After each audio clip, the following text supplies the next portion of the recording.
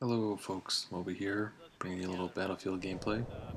Um, we have uh, Steelhawks in here, I believe Kirby was with us, uh, obviously FLB, and um, one of our new friends, uh, Iceman. And from this you might gather that Iceman is not a terrible chopper pilot. So uh, first thought was I think he was wanted to lurk behind the mountains here till uh, our team spotted their chopper. And once we spotted him, we were. He can make a move after that. Not that we were going to take it out. I think the Jets wound up doing that, but um, you know that's one way to play it. You can come out and rush first, take bases, you know, beat up their tanks, or you can uh, kind of wait and see what their first move is and, and make a reaction off of that. Think this was a little, later in the evening, so we didn't have everybody with us, and uh, the match didn't start out full, and uh, Kharg doesn't seem to accumulate people. Um, you know, Metro will. I think Oman. People seem to like Gulf of Oman, but uh, maybe even Seine Crossing. But um, Kharg, I don't think so. So if you don't start full, I don't think it's going to fill up. Um, I don't have too much chopper gameplay, but this was a pretty decent one. Uh, obviously, everybody can see I'm running thermal here, which is wonderful for spotting the little bodies walking around out there on the battlefield. Um, I'm not a big fan of zoom. Um, it's hard to say. Everybody has their preference. Where? You gotta spot them, do something. In between Bravo and Delta. I like to run the guided shell for the ground targets. I'm not good with that missile. I am dreadful with it. Um, but obviously you can see, you know, if you guys don't run thermal a lot, you can see from here. I do switch back and forth. I get oriented with the, the standard view, uh, you know, with daylight, and then um, I use thermal to kind of pinpoint it. So when we're turning, just to get oriented.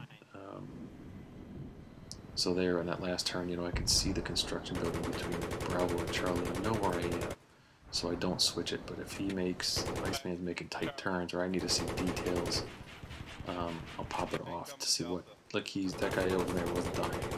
I know there's a big yellow garbage can over there, not a big deal. Uh, you know that dumpster. Um, but if I need to see the fine details of, you know, like this road, where's the road, where's the, The tank on Delta. you know, where the containers, I might turn it off and just go to normal view. Some people find it disorienting. I do for about a half a second, um, but it's not that bad. Not too bad at all. Um, there's a jeep on the hill, and I first thought he was going to go after it, but um, he wound up uh, playing it kind of slow. I think we wound up bumping into somebody.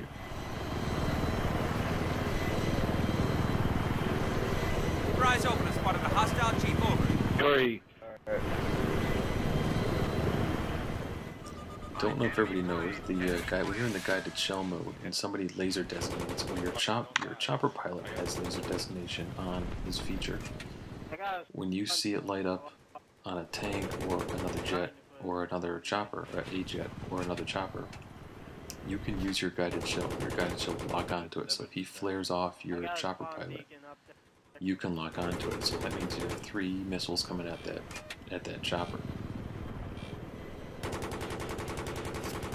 So that can be pretty productive. You'll see it happen occasionally here. Um, I don't know if I ever get a shot off with that guided. Shot me with an RPG. Oh. I think he was trying to shoot So right here, if you look carefully on the right of your screen as, you, as we're making this turn to the right, you see a little red and the hair of the white of the guy. I guess you don't see the red, but you see the white. We're not, he, we're not burning alpha because there's an enemy on it. And I didn't see him there. I only saw him in the video replay. But right here, I'm just spraying down alpha, figuring I gotta get some marker somewhere, which is a good thing about the gunner position. You. Have a lot of rounds to, to spend, and the chopper pilot can stay you What do you need to do? you know, low and steady and not move forward or backwards because he doesn't have to shoot. So I picked the guy up in the rubble. And here you can see the Jeep running away. Obviously it's enemy because it locks on. designated if he has javelin. He's going. And I love, I love getting the guided, the guided shell hits on the Jeep because the Jeep doesn't get any warning. If you guys are ever in a Jeep and you blow up instantly and it says the chopper killed you, it's probably the guided shell. So that's the nice thing about it.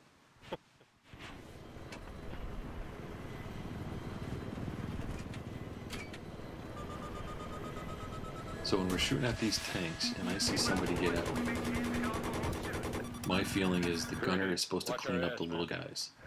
You know, you can always go back and get the vehicle, but if you shoot the guy and the vehicle's empty, the vehicle will either blow up on its own or you'll have time to come back later and, and get it. You know, nobody can just spawn on the tank.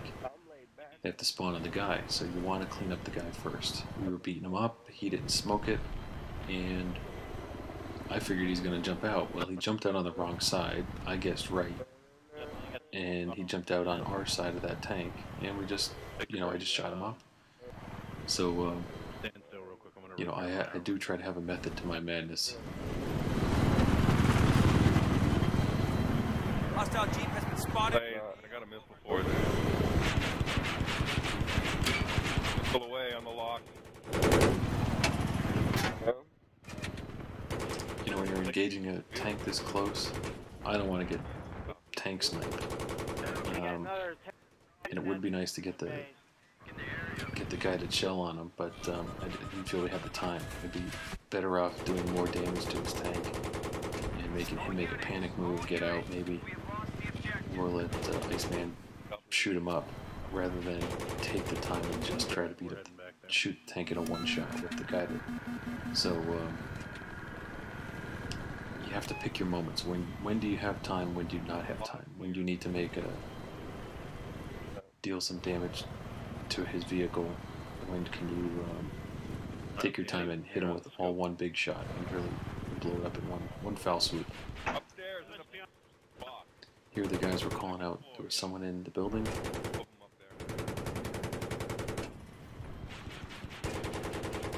All I'm doing right there is just spraying the whole thing down. Just looking for hit markers. Ooh, I got one.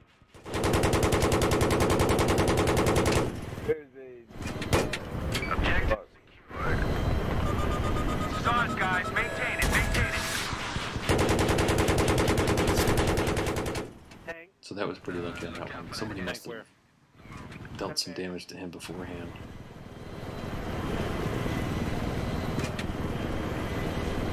Yeah, you just got in it.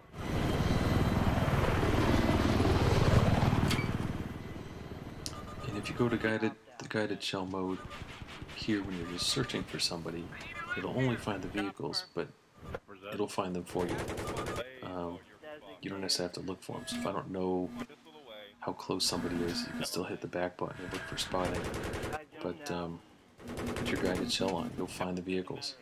Whether it's a jeep, could be a SOFLAM, could be a uh, spawn beacon. Um, I think it, it'll lock onto an MAV as well. Oh, there he is. But if you're just in the gun mode, you have to try to spot the whole time. Um, and you may not spot the vehicle. Whereas the guided seems to some of them. find the vehicles fairly easily. Um, it's not By the crate. Get him in the crate. doesn't have to be too sensitive. I did see that guy back there, which only I would have only seen him with the thermals, which is why I use it. Um, oftentimes your engagements aren't very useful for zoom. You're too far away in the zoom, and then even if you're in zoom and you move left and right, it seems way too sensitive. You always, or I always, overcompensate. You know, if the guys, if I need to move a little to the right, I move way to the right. Um, and most of your engagements aren't going to be from that long of a distance. Um, and I don't feel it lends that much more accuracy. The splash damage is good enough for, for infantry, and the guided shells for your vehicle. So um, Hostile sniper over. that's, I mean, that's kind of my take on it.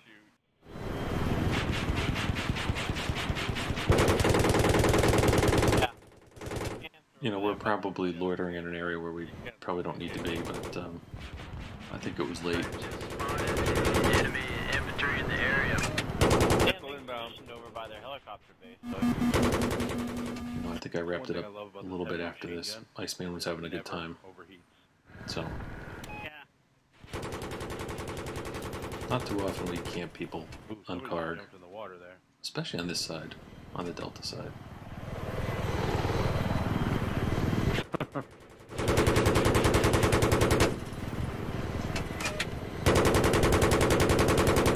Ooh. Good shot, Curry. I've spotted hostile anti-tank soldier in the area. Proceed with caution. Oh, like they all just like spawned right there. Uh,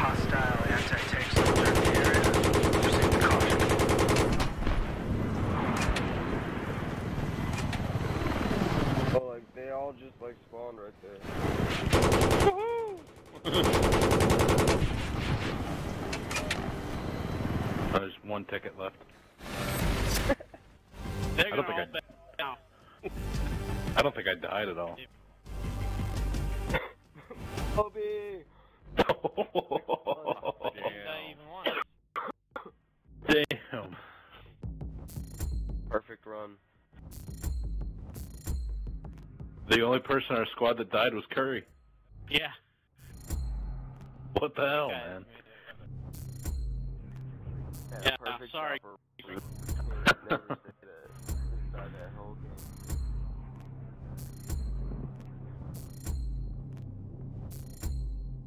that. Just died that whole game. That dude's crazy. Well, folks, thanks again for watching. I appreciate your time.